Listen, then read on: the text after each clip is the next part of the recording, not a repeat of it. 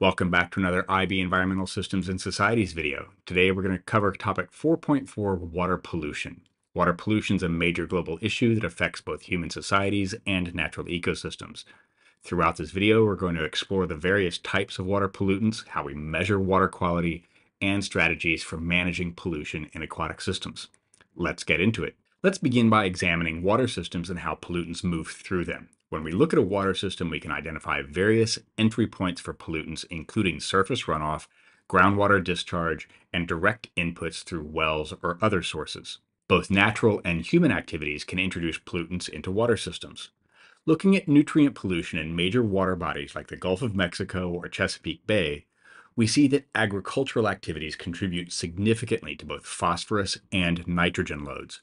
In the Gulf of Mexico, crops account for about 43% of phosphorus and 66% of nitrogen inputs, while livestock operations add 37% of all the phosphorus. While many pollution sources initially affect freshwater systems, they can ultimately impact marine environments as well. Urban runoff, agricultural activities, industrial discharge, and atmospheric deposition all contribute to both freshwater and marine pollution through the interconnected nature of our water systems. Water pollutants come in many forms. One of the most visible is floating debris, particularly plastic waste that accumulates on beaches and in our oceans. These images from beaches in Bali and Tanzania show how widespread this problem has become. Nutrient pollution, particularly from nitrates and phosphates, represents another major challenge.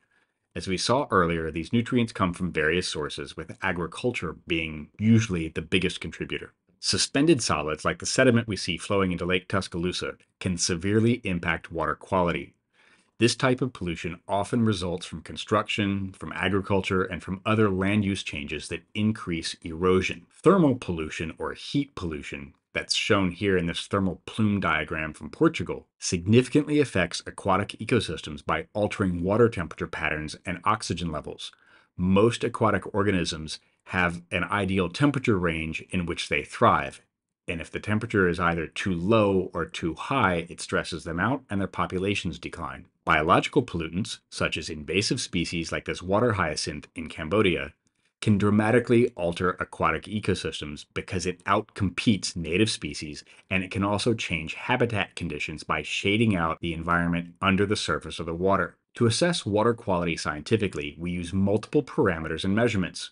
These fall into several categories physical properties like pH, temperature, and turbidity, measurements of solids and organic matter, and analysis of nutrient levels in the water.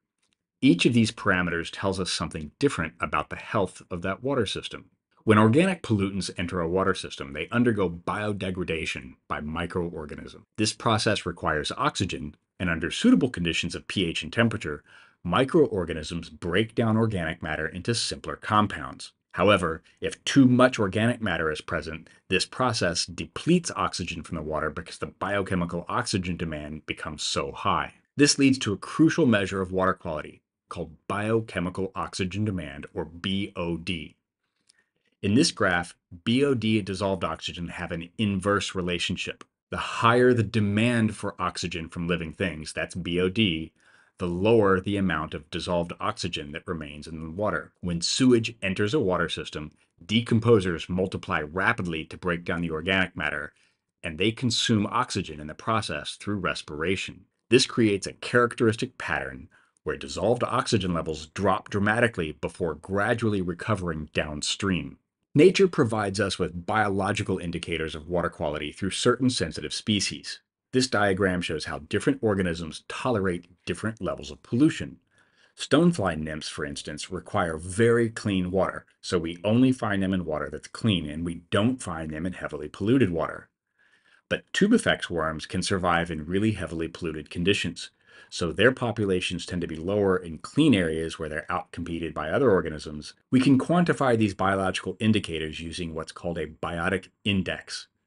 These calculations take into account both the number of organisms present and their pollution tolerance ratings. Looking at these two sample sites, we can see how a higher biotic index indicates better water quality. One of the most serious forms of water pollution is eutrophication. This image shows a severe algal bloom caused by excess nutrients entering this aquatic system. The characteristic green color comes from a dense population of algae that are thriving on high levels of nitrates and phosphates entering the water. The process of eutrophication follows a really predictable pattern.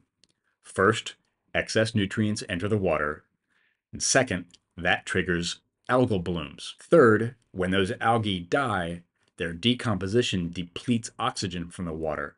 And fourth, that creates an anoxic condition. That's a condition without oxygen, and that condition kills fish and other aquatic life. Here, we see efforts to manage eutrophication in Cambodia's Siem Reap River, where workers physically remove algae. While this addresses the immediate symptom, long-term solutions must target the sources of the nutrient pollution in the first place. The ultimate consequence of severe oxygen depletion is the formation of dead zones like this one in the Gulf of Mexico. These areas can't support most marine life due to a lack of oxygen, and that creates vast biological deserts in our oceans. To address water pollution effectively, we use a three-tiered pollution management approach.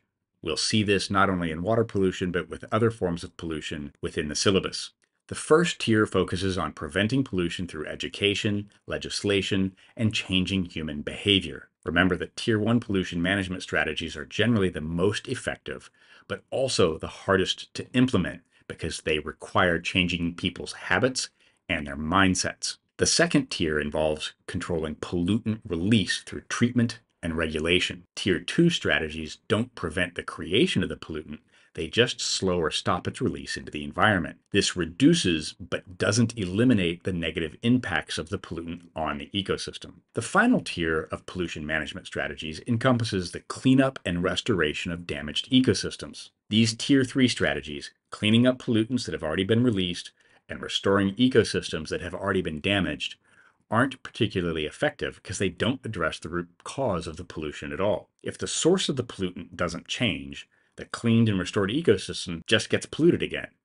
This is why tier three pollution management strategies are both expensive and ineffective. Cleanup has to happen repeatedly, and the root cause of the pollution is still there. On your ESS exam, you'll probably have to analyze pollution data from somewhere in the world and then connect it to ideas in the ESS syllabus. This first graph shows pollution levels from different countries, so you can connect pollution levels to economic development and industrialization levels in MEDCs and LEDCs. In this graph, we can see several trends in this water pollution data from Ireland between 1971 and 2009. The total number of reported fish kills peaked in the late 1980s at around 235 cases each year. Since then, it's declined significantly to fewer than 100 cases annually. Agriculture was initially the dominant source of pollution that caused these fish kills, but its contribution has decreased pretty notably over time. This likely reflects improved farming practices and stricter regulations on agricultural runoff. Industrial pollution shows a notable decline, although it remained a pretty significant source all the way through the late 90s. Let's revisit the process of eutrophication again because it shows up on ESS exams pretty regularly. Eutrophication begins when excess nutrients, particularly nitrates and phosphates from fertilizers, sewage, or urban runoff, enter a water body. These nutrients trigger explosive growth of algae and aquatic plants, and that creates visible blooms that turn the water green or brown. When this plant life dies, it sinks to the bottom where bacteria decompose it. The decomposition process rapidly consumes dissolved oxygen from the water because those bacteria are undergoing respiration in order to eat all of that algae. So that oxygen is consumed faster than it can be replenished from the atmosphere. As the oxygen levels drop, fish, and other oxygen dependent organisms either die or they flee, they go somewhere else. Bottom dwelling organisms, which are unable to escape, usually die first. Their deaths and their decomposition create a devastating feedback loop. This is positive feedback. More dead organisms mean more decomposition, and that further depletes oxygen through the respiration of the decomposers. Eventually, this is what creates those dead zones where only anaerobic bacteria and extremely tolerant organisms can survive. The use of indicator species provides a powerful biological tool for assessing water quality. Different aquatic organisms have varying tolerances for pollution, making them natural indicators of water conditions. Let's examine three key indicator species. First, Stonefly nymphs are particularly sensitive to pollution and they require high levels of dissolved oxygen. Finding them in a water body strongly suggests a clean, well oxygenated condition with minimal pollution in that site. Their presence typically indicates a biotic index value below 4.0, and that represents excellent water quality. Second, freshwater shrimp can tolerate moderate levels of pollution, but they still need relatively good water quality to survive. They occupy this middle ground in pollution tolerance, which makes them useful indicators of intermediate water quality conditions. Their presence typically suggests a biotic index value between 4.0 and 6.0. Third, tubifex worms.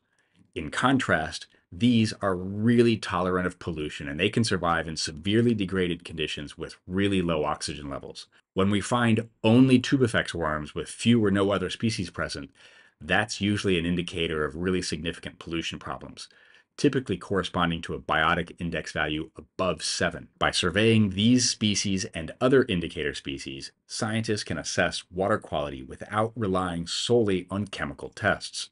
The presence, absence, and relative abundance of these organisms provide a time integrated picture of water quality that spot chemical sampling might miss. Finally, you need to remember that water pollution is inherently an international issue.